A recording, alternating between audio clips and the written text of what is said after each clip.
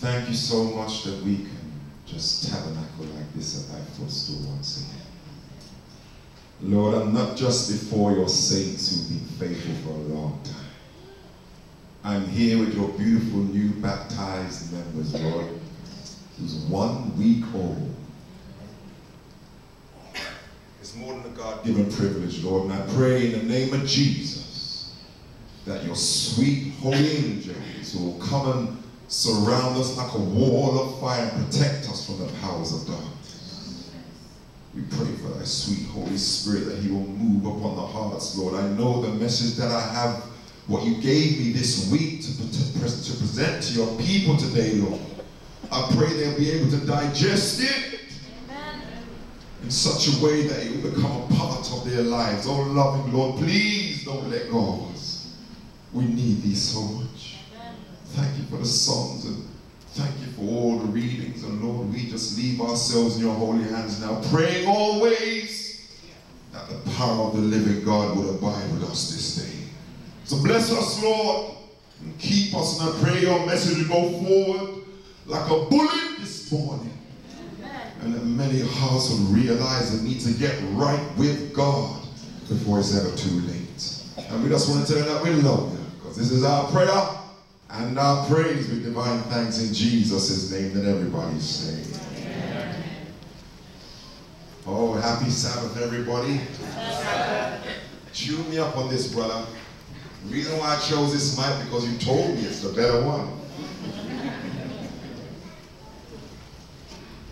I missed you this week. Uh, now you're getting there. I missed you this week. Did you miss me? Yes. Did you have a good week this week? Did you put back on the television? How was your Wednesday, live food day? I know some of you couldn't wait to start eating back the type of food you was eating, but praise God, I know some of us allowed Wednesday to continue to be a special day. Now this is good, brother. I can just take my time. But I miss you this week. It's good to see you this Sabbath. May God bless you. Pray that the message the Lord has placed upon my heart, you would receive it. You know,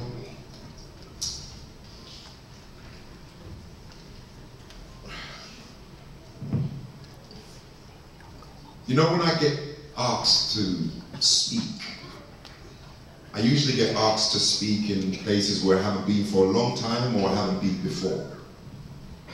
But being asked to speak to a group of people who I've spoken to for two weeks, one has to ask the question of what? What should I speak about? I can preach about heaven is worth it and make you feel so good. But then when you leave the doors, all it is is just a feel-good factor. I can preach about hellfire and the judgments of God. But I don't want you to love the Lord because you're scared of him. I could talk about the condition of the church so the new baptized members could be aware of the problems which will be facing them. But I'm sure they're learning to find all that out. So the Holy Ghost told me to speak on a subject which I need prayer to present it because I want to make sure I present it right. I want to make sure I present it right.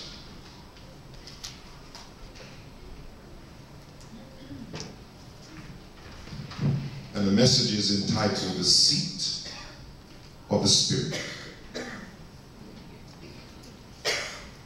The seat of the Spirit. It is known as the electrochemical computer of the human anatomy. In an adult, it weighs approximately three pounds. It is protected by 28 pieces of bone and is surrounded by cerebrospinal fluid. It has four main parts On the top part is called the cerebrum, which deals with our thoughts. On the bottom part is called the cerebellum, which deals with movements. On the left hemisphere, it deals with speech and reading and writing and logical thinking. On the right hemisphere, it deals with creativity, artistic, ability, and emotion. It has a hundred billion nerve cells transmitting information at 450 feet per second. It also has a hundred thousand miles of blood vessels in this area alone, enough to go four times around the world. It is estimated that at least 70,000 thoughts are contracted through this organ every single day. It is known as the human brain. Listen. It has three main lobes. It's got the temporal lobe, at the base of the brain, which deals with hearing and smelling and vision. It's got the parietal lobe, which deals with the back of the brain, which deals with touch and taste. But then it's got the frontal lobe, right there, directly behind the forehead, which deals with the power to think articulately, and it is different from every single animal on this planet. And the largest and the most complex part of the brain is the cerebrum. The cerebrum composes 85% of the brain's weight. And the frontal lobe is in the cerebrum. But it is here where it's the seat of the Holy Ghost.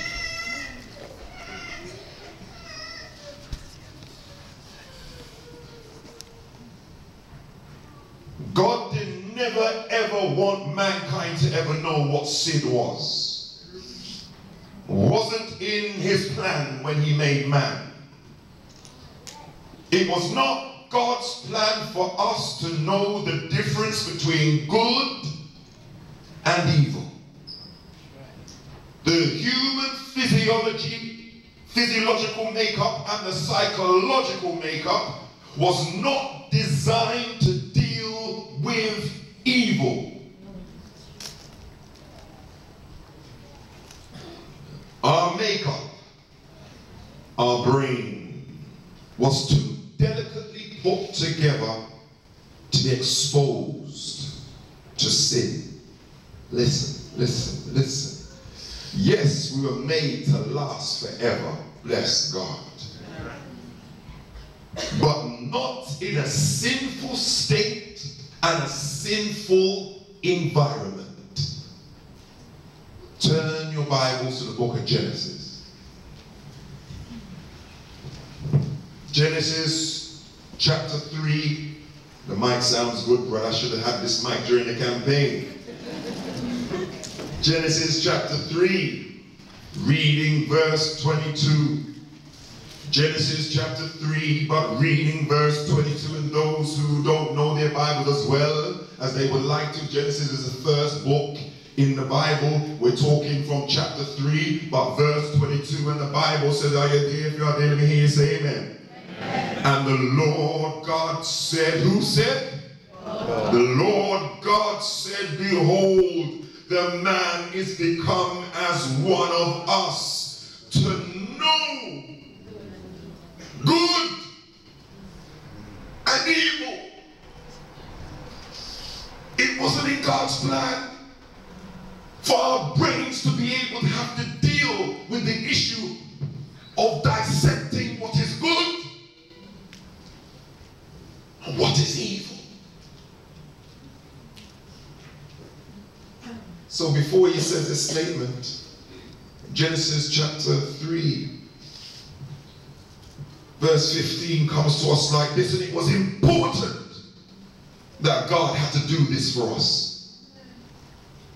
And I will put enmity between thee and the woman, and between thy seed and her seed. Shall bruise thy head, thou shalt bruise his heel. Since we got exposed to sin, God had to do something to help our brains to be able to deal with the issue of sin.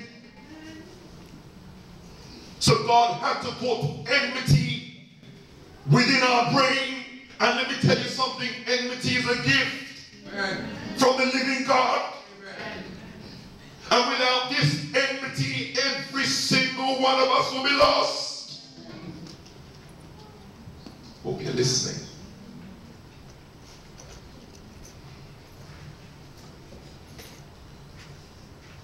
The Book of Great Controversy, page 506, comes to us like this. It is the grace that Christ implants in the soul which creates in man enmity against Satan. Without this converting grace and renewing power, man would continue the captive of Satan. What?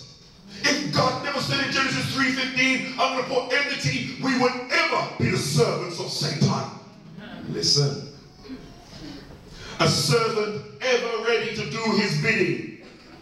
But the new principle in the soul, it creates conflict. Where hitherto there was peace. The power which Christ imparts. So he doesn't give it to you all at once. He gives it to you in parts. Enables man to resist the tyrant and the usurper. Whoever is seen to abhor sin instead of loving it. Whoever resists and conquers those passions that have held sway within displays the operation of a principle that is holy from above. Amen. My brothers and my sisters, read a book the other day. I do a lot of reading because I have the time to read. It's a book called Conscience, Your Inner Voice by Thomas A. Davis. He outlines a few things in this book which I want to lay as a foundation for our discussion today. He says, first, the, the, the, the conscience is a variable organ. That means it can be adapted and it can change. Sometimes it might speak to you in a small little voice, but sometimes it might shout at you. Second, the word conscience is not even mentioned in the Old Testament. In the New, it's mentioned 32 times. And, and, and the Greek word is syneidesis, which means a co-perceptioner. So technically, your conscience helps you to see evil when it's coming. Third, the conscience is, refer is referred to as a censor, a voice, an eye, but also a judge. So when you do it wrong, it would make you feel uncomfortable. Listen. He explains that conscience is different from instinct. You see, instinct prompts us to follow inclinations and impulses, and those things can be followed blindly. But conscience follows reason. That means there's a set of rules which have a cause to effect, and conscience follows reason. And not blind emotions. That one we're going to come back to. Five, he says, conscience is that voice between the thought and the act. So there's a thought that says, you know what? I'm going to watch that program. But in between the thinking it and doing it, conscience steps in and says, you know what? You better not do it.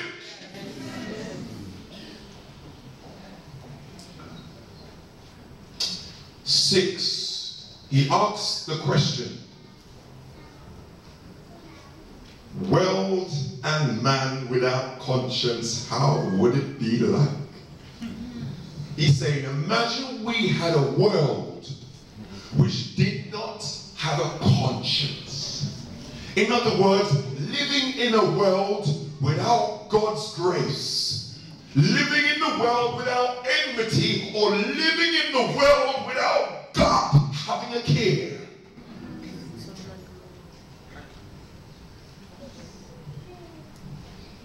He, he brings it home as saying, imagine you having traffic lights in a jungle amongst cannibals. The traffic light says red, but the cannibal don't even understand what red means. Stop.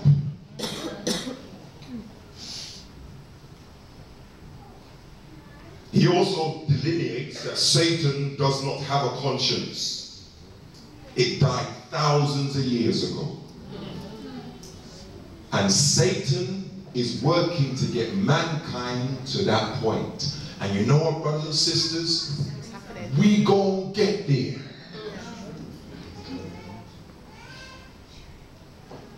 By grace, we are not gonna get there.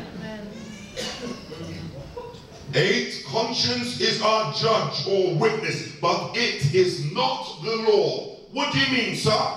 Our consciences need to be educated and taught by God's holy word. So the conscience does not have an inbuilt law in it. It needs to be educated. Amen.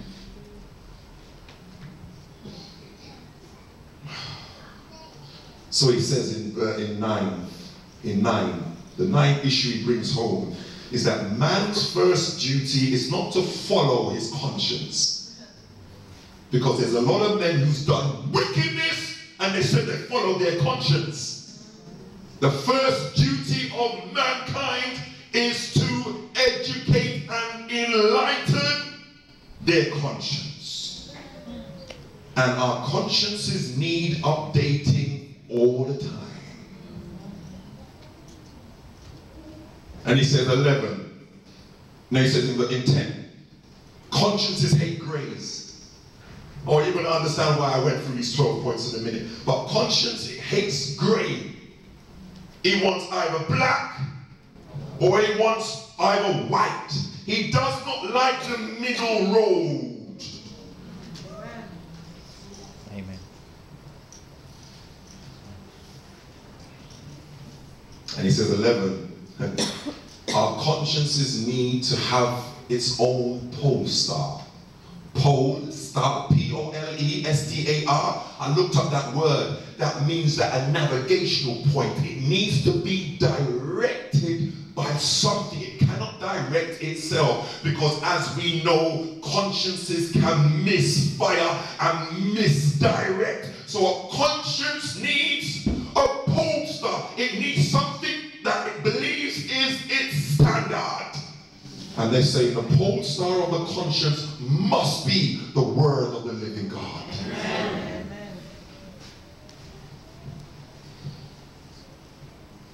But he also ends the book by saying every time we violate conscience and this voice of warning we are making ourselves vulnerable to the manipulation of demons. You see, self is the enemy of conscience. When conscience tells you to go that way, but you make up your mind saying, you know, that way is too rough. I'm gonna go that way.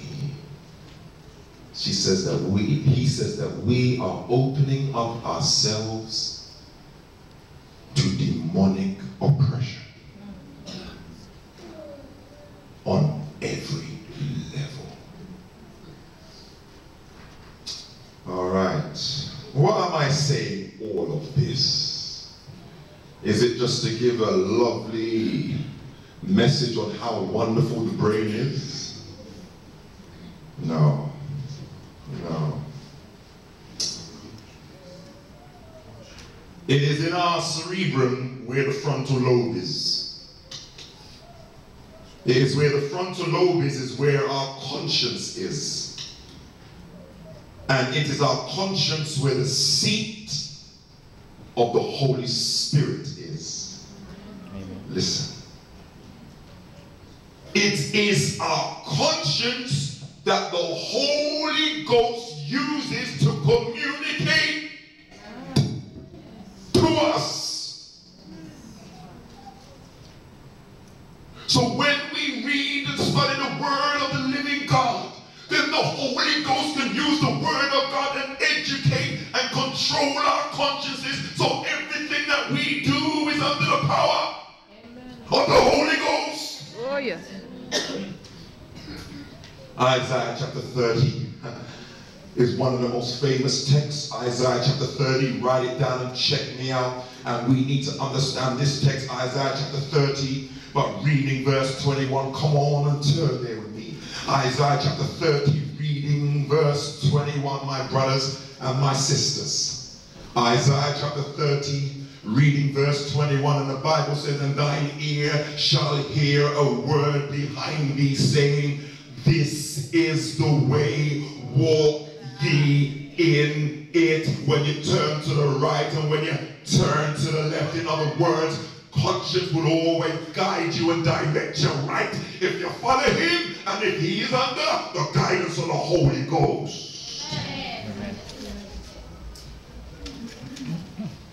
Listen.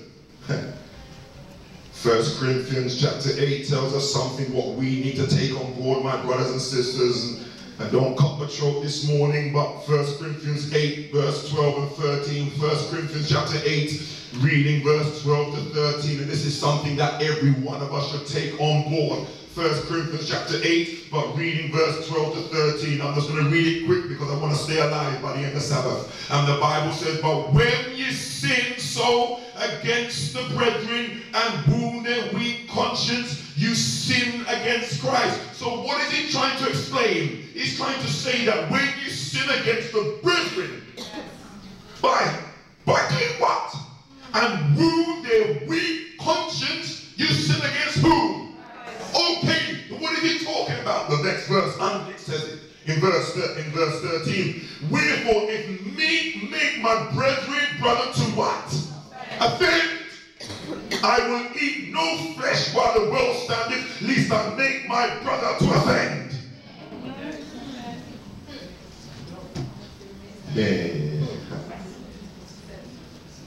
Listen, we are our brother's keeper on a level where many of us don't even understand.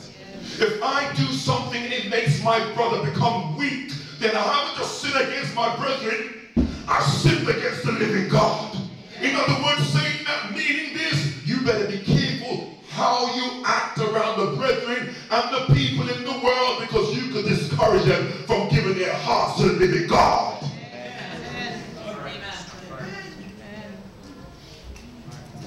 Let that one soak in for a bit. Amen. Titus 1, 15 to 16. Titus chapter 1 is talking about conscience. Titus 1, 15 to 16. Book of Titus, just before the book of Hebrews. Titus 1, 15 to 16. And the Bible says, just before the book of Hebrews, Titus chapter 1, but verse 15 to 16.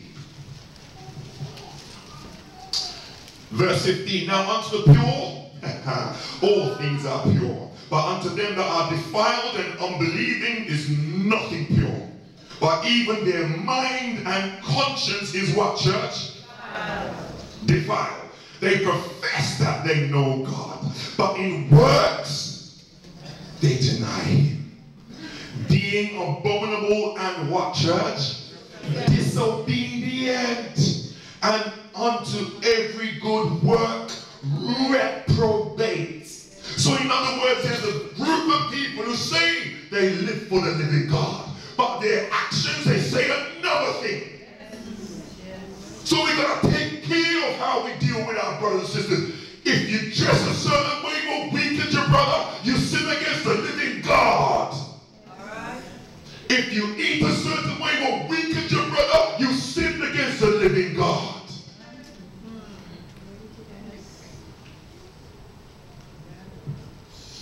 Reprobate. That word reprobate comes from a deep wording which means void of judgment or morally unprincipled. Oh, I'm going to come to where I want to come to with this thing called conscience. This whole world has near enough been filled up with reprobates. Because the majority of the world do not fear the living God. Oh, I want to get even whole, closer home than that. Many people who call themselves God-fearing Christians, they have become bordering on the side of reprobates. Because they believe coming to church is Christianity. Demons come to church. So we're going to do more than go to church. We need to live for the living God.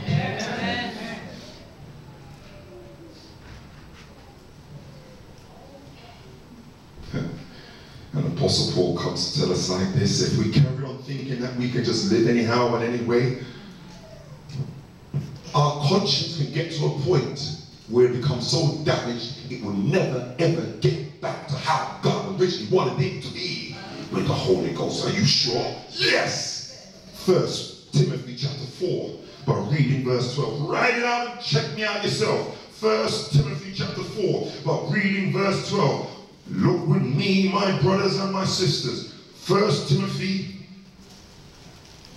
chapter 4, we're reading verse 1 and 2 rather. First Timothy chapter 4, reading verses 1 and 2. And the Bible says, Now the Spirit speaketh expressly. Who speaks expressly? The sweet Spirit of the living God